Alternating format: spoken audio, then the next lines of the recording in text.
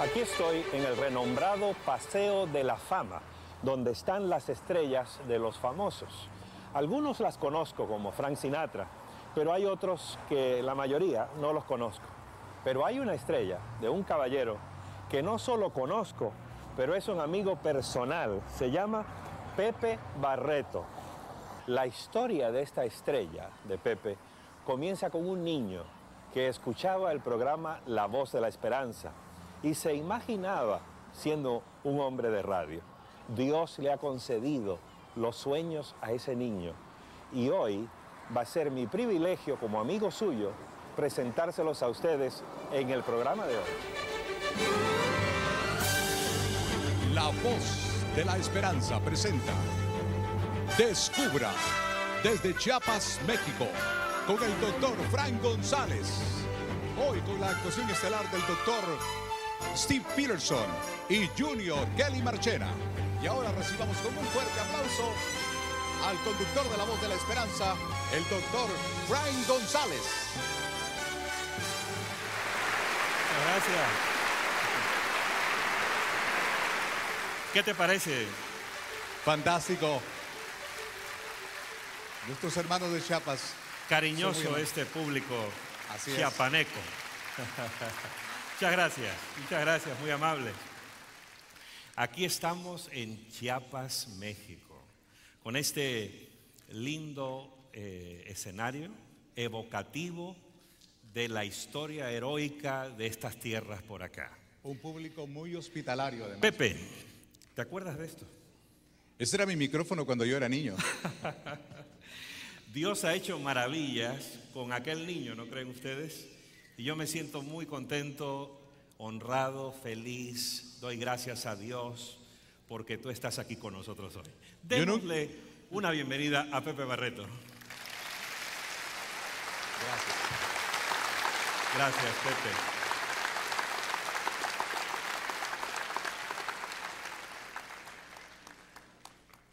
Pepe, ¿qué hay en tu corazón en esta noche al pensar que tú cuando niño escuchabas este programa, La Voz de la Esperanza, y ahora a partir de esta noche vas a ser parte de este programa? Gracias, Frank. Hay un gran gozo, amigos, como ustedes podrán imaginarse. Yo, de niño, escuchar la voz de la esperanza, nunca me imaginé estar en la voz de la esperanza y mucho menos junto al conductor de la voz de la esperanza. Y además, la voz de la esperanza tocó mi corazón y sé que esta noche estamos tocando a muchos corazones más que nos están viendo. Gracias, Pepe. Tenemos algo maravilloso para nuestros televidentes hoy. Así es, Frank. Tenemos también para todas las familias que nos están viendo, por ejemplo, a nuestros amigos televidentes, a las familias, queremos decirles que tenemos, por ejemplo, un moderno y útil curso por correspondencia titulado Buena Salud, que les ofrece la voz de la esperanza. Descubra la verdad acerca de la buena salud y disfrute de todo en abundancia. Pida las lecciones de nuestro curso Buena Salud. Son sencillas y además fáciles de estudiar. Para recibir este material gratuito, llámenos ahora al mismo número que aparece en sus pantallas en los Estados Unidos. Es el 1-888-837-6767, que es lo mismo que 1-888 Tesoros. O visite nuestra página en la internet www.lavoz.org. Muchas gracias, Pepe. Y ahora, para el deleite de nuestro público acá y para honra y gloria de nuestro Dios, tengo el placer, Pepe, de presentarte a ti al público a un amigo personal, un doctor y un saxofonista extraordinario, el doctor Steve Peterson.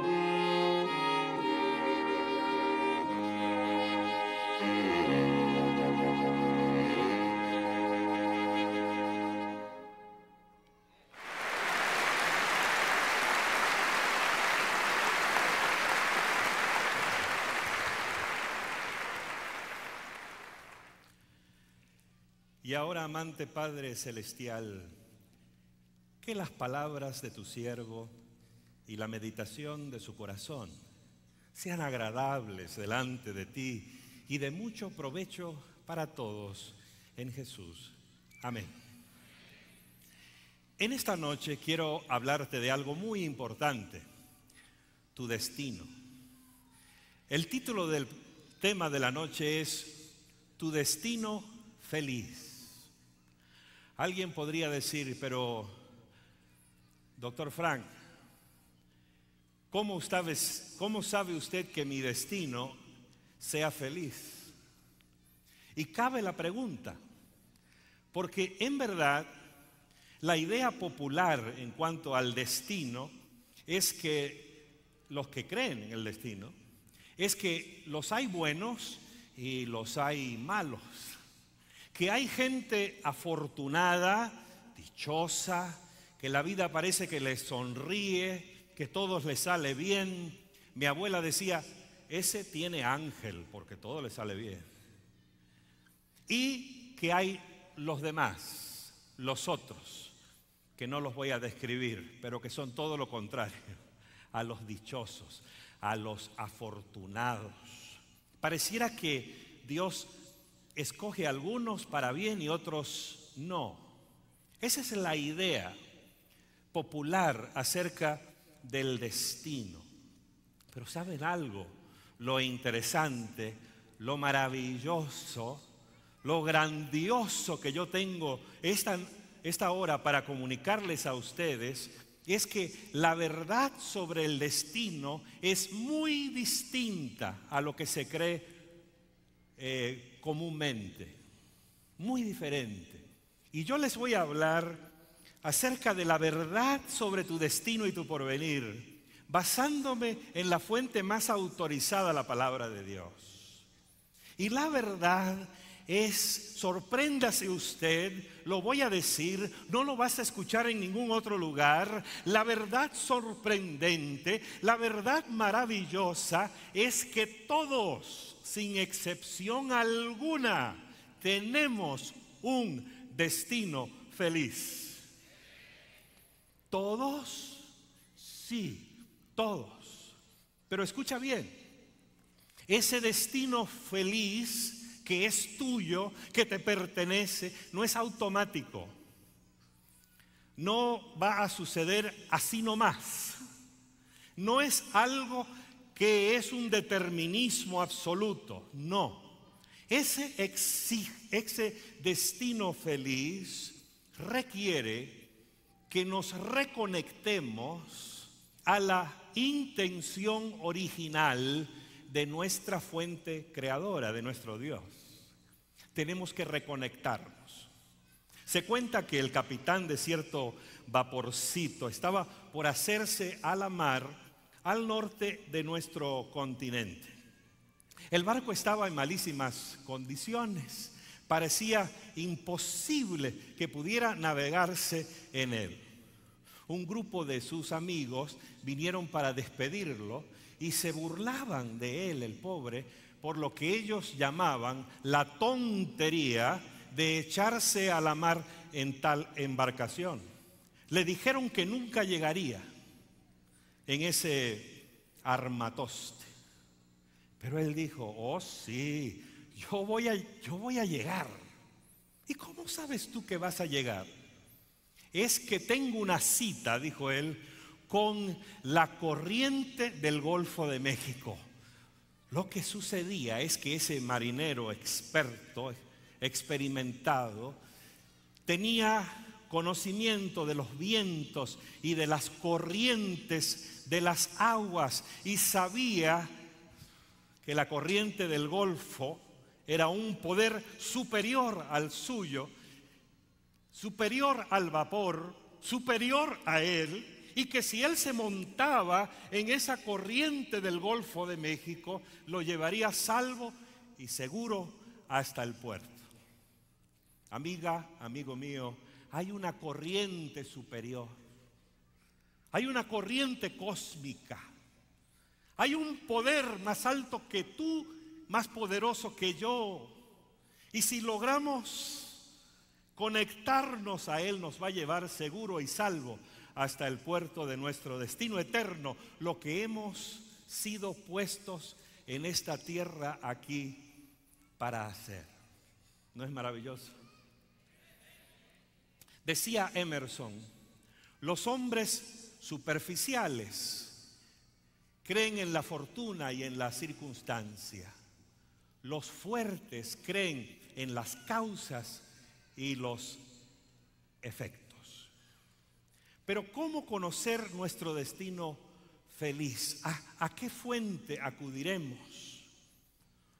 Con buen humor alguien ha dicho que un hombre bien informado es aquel a quien su esposa acaba de decirle todo lo que piensa de él. Ese es un hombre informado. Pero más acá de la broma y del chiste, ¿no sería mejor que el hombre informado sea aquel a quien el cielo acaba de decirle todo lo que piensa de él? Mi querido, tú has escuchado muchas cosas acerca de ti. A través de tu vida, a través de tu vida, de tu historia, desde niñito, desde niñita, alguien te ha dicho, tú eres esto, tú no sirves para esto, tú nunca vas a llegar a nada. Y pareciera que todo el mundo tiene una opinión de ti, aunque no se la pidas. Y algunos dicen, no me importan lo que digan los demás, yo no me entiendo con eso. Eso ni me viene ni me va. Pero nuestra mente, nuestra alma, es una grabadora, es como una esponja. Y todas las cosas que escuchamos quedan allí. Todas las experiencias que tenemos nosotros en la vida están registradas en nuestro ser. Algunas han sido tan difíciles, tan terribles, que la mente las ha sepultado en algo que llamamos el subconsciente y a veces tan abajo que llega al inconsciente. Pero de todas formas está allí. Y aunque tú no lo creas, aunque piensas que ya no eres el chiquillo aquel o la niña aquella que era destinataria de tantas palabras a veces feas y negativas, que ya tú eres una persona madura, que ya hemos superado todo aquello, aún así, mis queridos, Llevamos eso. Lo llevamos. Lo sintamos o no, está allí. Subconscientemente o inconscientemente está afectando nuestra manera de pensar. A veces es como frenos. Frenos que nos impiden llegar a los lugares que debiéramos llegar en la vida. ¿Me entiendo? ¿Me hago entender? Y por eso lo que necesita el ser humano es una nueva programación. Es la programación original. Es la intención original del cielo. Y felizmente la palabra de Dios nos revela esa, esa primera intención de Dios.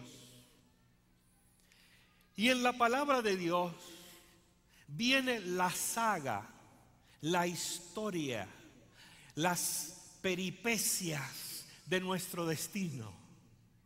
Cómo fue perdido y cómo ha sido recuperado. Nosotros, todos, estábamos al comienzo Escuchen lo que les voy a decir, les va a parecer un poquito extraño. Nosotros estábamos todos en la fábrica de Adán. Cuando Dios hizo al mundo entero, cuando Dios hizo al mundo entero, antes de que existiéramos, antes de que llegáramos, arribáramos a este mundo, antes de que tus padres se conocieran, antes que tus abuelos nacieran y los míos, Dios nos creó en Adán.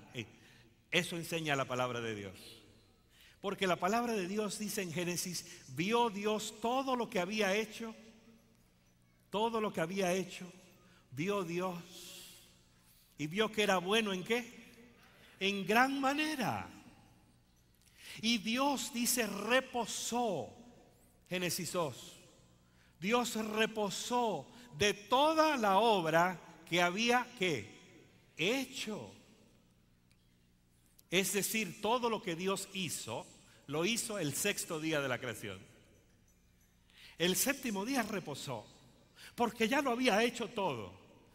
Pero me está confundiendo usted, Pastor Frank, porque yo no estaba allá en la creación. Bueno, querido, tú no estabas físicamente allá, yo tampoco, tampoco mis abuelos, pero sí estábamos allí, entiende, en la mente de Dios estábamos allí.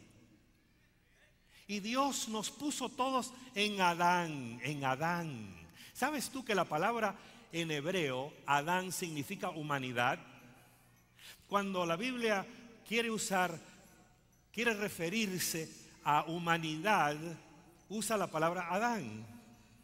Por eso, más tarde, en Efesios capítulo 1, en Efesios capítulo 2, en Efesios 1.10 dice que Dios quiso reunir todas las cosas que están en el cielo y que están en la tierra y las reunió en Cristo. Por eso Cristo, a Cristo se le llama en la Biblia el último o el postrer que Adán. No el postrer Moisés, no el postrer Abraham, el postrer quién? Adán. Porque miren, primero estábamos todos en Adán.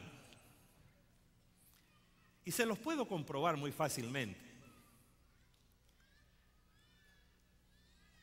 ¿De dónde sacó Dios a Eva?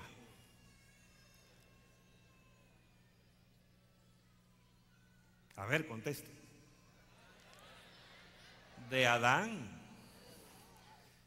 Por eso no se puede nunca culpar a las mujeres, caballeros, porque salieron de nosotros. si usted condena a su mujer, se está condenando a usted mismo. Dios sacó, cuando fue a, a formar a Eva, no la saca del polvo de la tierra, de donde había sacado a Adán, porque Eva no estaba allí. Eva estaba donde? En Adán. Y de allí fuimos saliendo todos. Hechos 1.17 dice de una sangre, la versión original dice de una vida, vida, la sangre está en la vida, la vida es la sangre, en la Biblia vida y sangre es la misma cosa. De una vida sacó Dios todos los hombres. Allí estábamos todos por así decir, en el coche de Adán. Estábamos en el, en el bus de Adán, en el omnibus de Adán. Y cuando Adán tuvo el accidente que tuvo, todos sufrimos. Todos sufrimos. Y por consiguiente, vino al mundo, dice la palabra de Dios, la condenación. Por un hombre, dice Romanos 5 por un hombre vino al mundo la condenación, porque el mundo estaba donde? En Adán.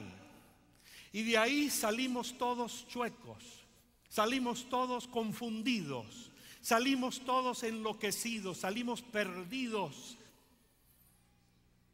desconociendo nuestro propósito, confundidos en cuanto a nuestro destino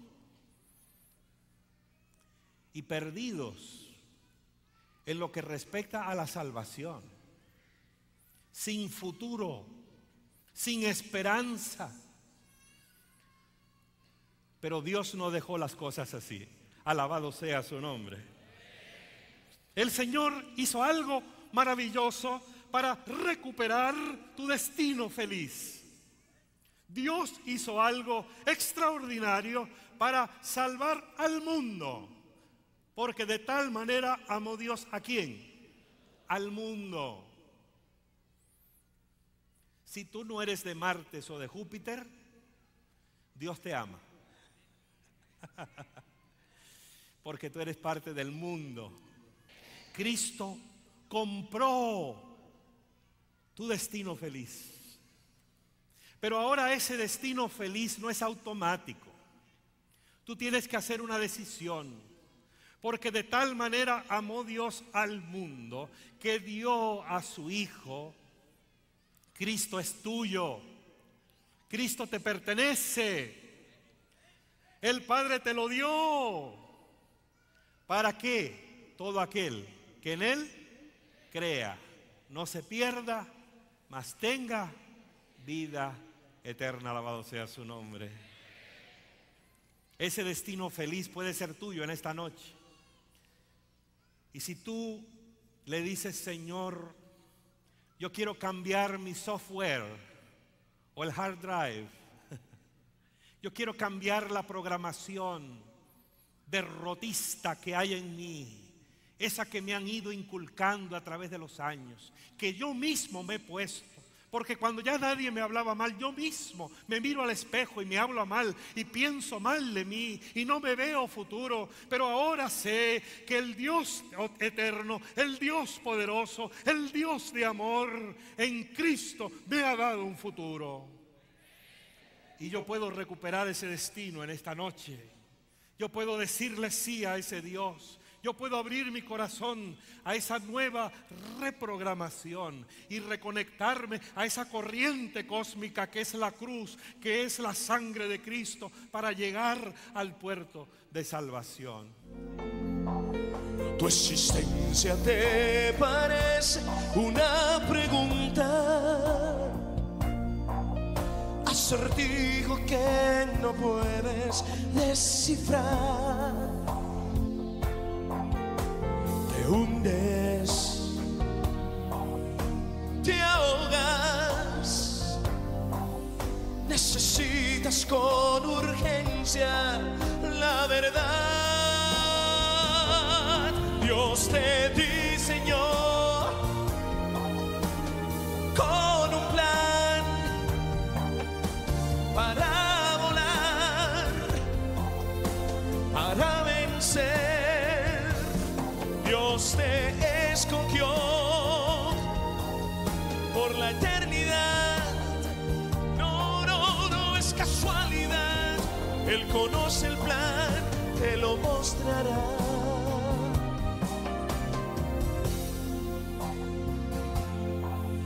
Cuando estés con Él.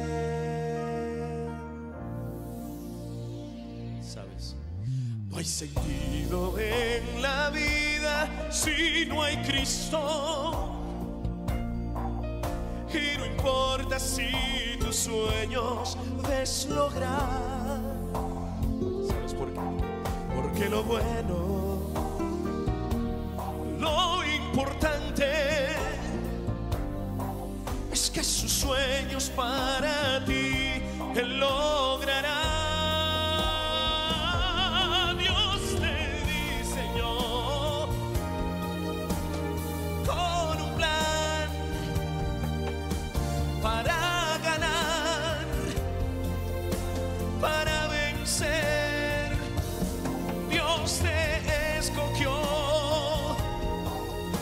Dios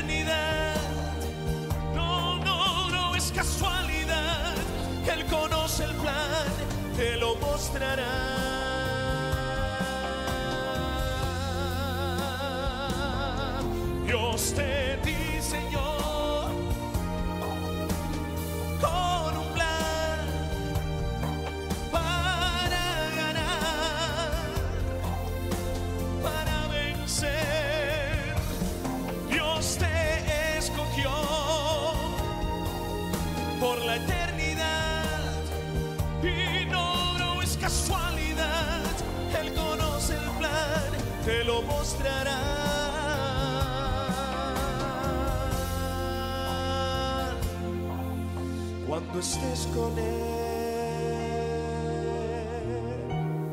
cuando estés con Él.